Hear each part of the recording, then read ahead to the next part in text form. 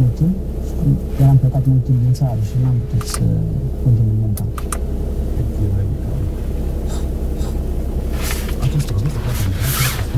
Se recomandă citirea cu atenție a prospectului. Dacă apar manifestări neplăcute, adresați-vă medicului sau farmacistului. Dixtonim. Desfundă nas. Aceasta sunt eu. Iar ele fac